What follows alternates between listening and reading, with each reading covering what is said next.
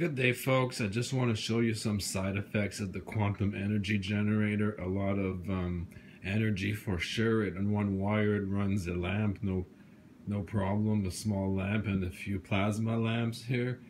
So there's no batteries on here. See the battery cases are up here, they're all empty.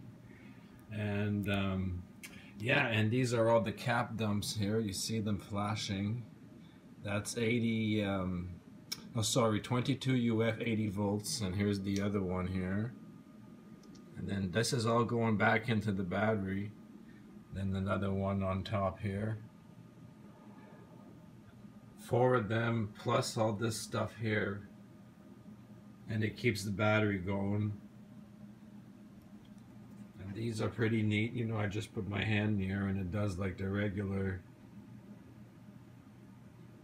lots of energy here. So I'm thinking about doing the Don Smith thing here instead of just wasting it. Why not, right? So with two plates here, uh, that could be, I've got these here, which is a few more um, gas discharge tubes.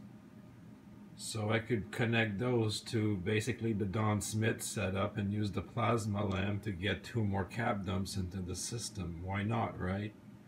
So just showing you some progress here, taking it one step at a time, folks, you know, using one system and another and integrating them together. Hope you enjoy.